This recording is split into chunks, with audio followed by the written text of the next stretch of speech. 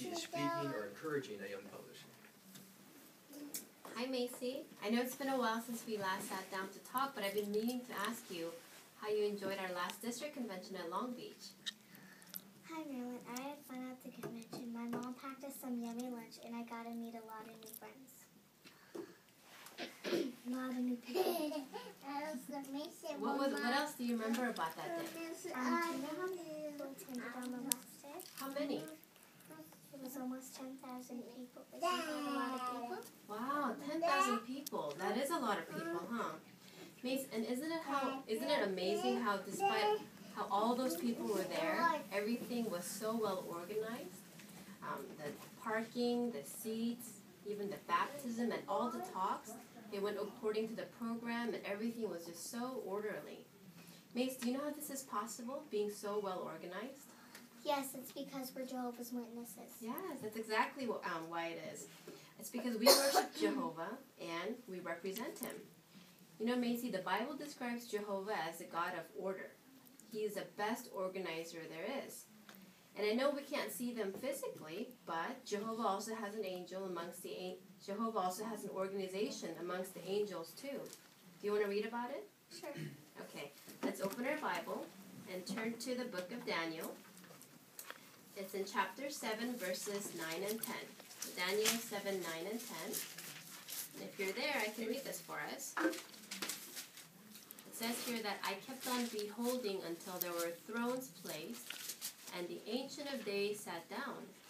His clothing was white just like snow, and the hair of his head was like clean wool. His throne was flames of fire, its wheel were a burning fire. There was a stream of fire flowing and going out from before him.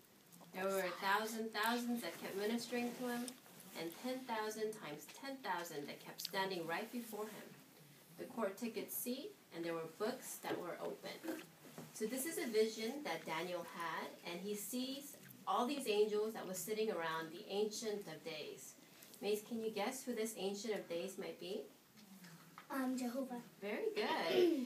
Um, you know how it said there was thousands, thousands that kept ministering to him, and ten thousand times ten thousand that was sitting before him. That sounds like a lot of angels, huh? Mm-hmm. Yeah.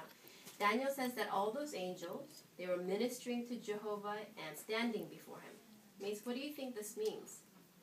I don't know that they were talking to Jehovah in front of him. Very good. Mace, in fact, let's read another scripture together that kind of describes what you um, said, and it describes what the angels are doing now and what they were doing in the past. It's in the book of Psalms 103, verses 20 and 21. Do you want to read that for us? Okay. Psalms 103, verses 20 and 21.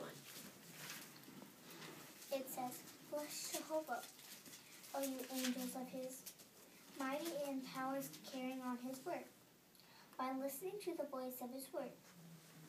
Bless Jehovah, O you armies of his, you ministers of his, doing his will. Very good. That was very good reading, Mace. As we just read, um, these angels are like an army who listens to what Jehovah tells them to do, and they do exactly so.